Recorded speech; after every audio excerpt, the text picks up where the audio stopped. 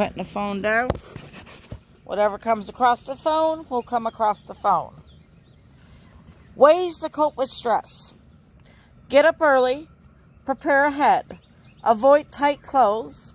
Avoid chemical aids. Set appointments. Write it down. Practice preventive maintenance. Make duplicate keys. Say no more often. Set priorities. Avoid negative people. Use time wisely. Simplify meals. Copy important papers. Anticipate needs. Make repairs. Get help with jobs you dislike. Break down large tasks. Look at the problems as challenges. Look at the challenges differently. Unclutter your life. Smile. Prepare for rain. Tickle a baby. Pet a dog or a cat. Don't know all the answers? Look for the silver lining. Say something nice. Teach a kid to fly a kite. Walk in the rain. Schedule playtime. Take a bubble bath. Be aware of your decisions. Believe in yourself. Stop talking negativity. Visualize winning. Develop a sense of humor. Stop thinking tomorrow will be better. Have goals. Dance a jig. Say hello to a stranger. Hello. Ask a friend for a hug. Look at the stars. Breathe slowly. Whistle a tune. Read a poem. Listen to a symphony. Watch a ballet. Read a story. Do something new. Stop a bad habit. Buy a flower. Smell the flower. Find support.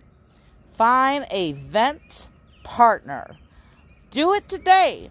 Be optimistic. Put safety first. Do things in moderation.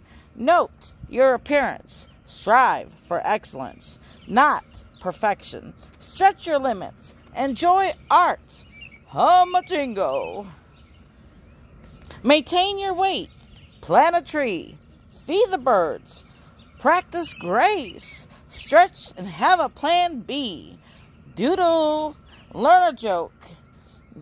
Know your feelings. Meet your needs. Know your limits. Say, have a good day in Pig Latin.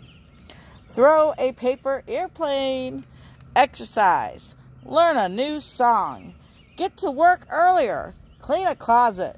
Play with a child. Go on a picnic. Drive a different route to work. Leave your work early.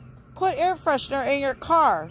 Watch a movie and eat popcorn write a faraway friend, scream at a ball game, eat a meal by candlelight, recognize the importance of unconditional love. Remember, stress is an attitude. Keep a journal. Share a monster smile. Remember your options. Build a support network. Quit trying to fix others. Get enough sleep. Talk less and listen more and praise others.